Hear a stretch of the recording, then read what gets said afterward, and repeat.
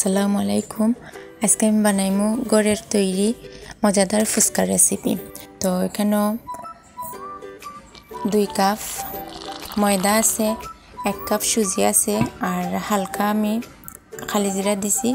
এখন হালকা উনি গরম পানি অ্যাড কইরা এখন আমার খাইটা বানানো হয়ে গেছে। বালাটিকে মাখাইয়া খাইটা বানাইছি। তো এখন আমি ফুচকা বানানি এখন ফুচকা বানাইলাম তো একটু তেল, হালকা তেল উপরে লাগাইলাম।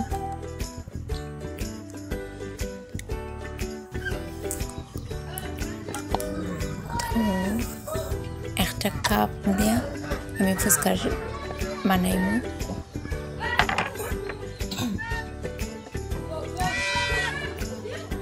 একটু ময়দা উফরে দিলাম যাতে একটু চট না লাগে।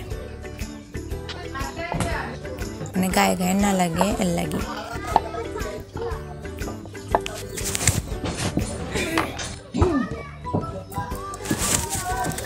তো দেখো কা, কত সুন্দর হয়।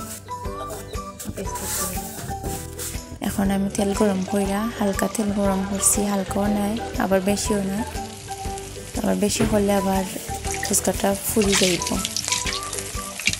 তো দেখো কত সুন্দর ফুচকা ফুল ফুলের আমি যেভাবে করছি আপনারা ঠিক অমেলা উপকরণ দিয়ে করবা ওরকম ফুলব সেরকম ফুচকা ফুলে না ওরকম করলে ফুচকা হল খুব ভালো ফুলে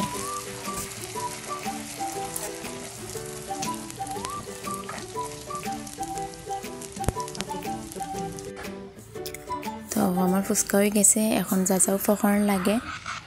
একটা পেঁয়াজ একটা শসা অর্ধেক শসা আলু দুইটা ওনা দিয়া আমি একটু মাখাইয়া তৈছি আর একটু গাজর ধনে পাতা শুকনো মরিচ আর ডিম। তো এখানে আমি ফুচকার যে টক ফানিটা আমরা খাইমু ওটা আমি বানাইলাম তো বিট লবণ দিলাম আধা চামচ আর নদনী পাতা আর দুইটা কাঁচামরিচ ফিশে আমি অ্যাড করলাম তো এগুলো আমার ফুচকার টক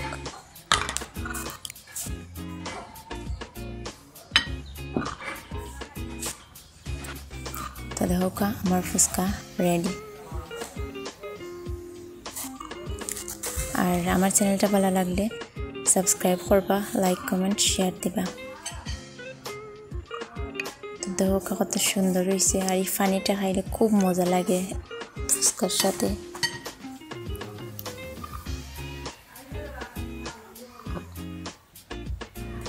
ওয়াও খুব মজা হয়েছে ধন্যবাদ সবাইকে, আসসালামু আলাইকুম।